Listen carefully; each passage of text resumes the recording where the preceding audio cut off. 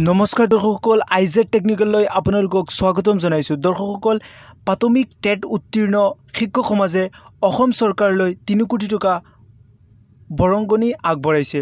তো দৰ্শকসকল ভিডিঅ'টো আপোনালোকে শেষলৈকে চাই থাকক। সকলোখিনি আপোনালোকক বিতংকে জনাবলৈ চেষ্টা কৰিম।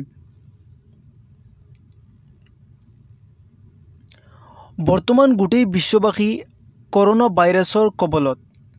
কৰোণা ভাইৰাছৰ কবলত পৰি এক গভীৰ সংকটৰ অৱস্থান কৰিছে।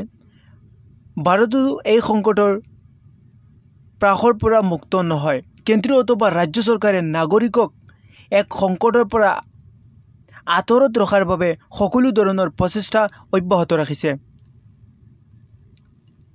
দেশৰ শাসক বিৰোধী ৰাজনৈতিক নেতা অভিনেতা অভিনেতা খেলুৱৈকে ধৰি বিভিন্নজনে নিজাববীয়াকৈ কৰোণাক প্ৰতিহত কৰিবলৈ চৰকাৰলৈ সাহায্য আগবঢ়াইছে। এনে এক জটিল সন্ধিক্ষণত নিজৰ এদিনৰ দৰমহা ৰাজ্য চৰকাৰলৈ আগবঢ়োৱাৰ কথা ঘোষণা কৰিছে সদৌ অসম প্ৰাথমিক টেট উত্তীৰ্ণ সমাজে। নৰ্থ ইষ্ট নাওৰ সাংবাদিকক এই কথা জানিবলৈ দিয়ে শিক্ষক সমাজৰ সাধাৰণ সম্পাদক মিৰাজুল ৰছিদে শিক্ষক সমাজৰ সাধাৰণ সম্পাদক মিৰাজুল ৰছিদে এই কথা জানিবলৈ দিছে।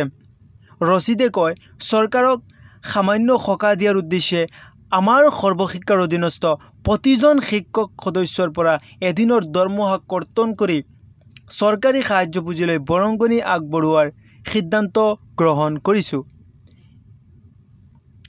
এই বিষয়ে ৰাজ্যৰ শিক্ষা বিত্ত আৰু স্বাস্থ্যমন্ত্ৰী ডক্টৰ হিমন্ত বিশ্ব শৰ্মা আৰু প্ৰাথমিক শিক্ষা বিভাগৰ আয়ুক্ত সচিব তথা সৰ্বশিক্ষা অভিযান মিছনৰ সঞ্চালকলৈ আনুষ্ঠানিক পত্ৰ প্ৰেৰণ কৰা হৈছে বুলি ৰচিদে জানিবলৈ দিয়ে।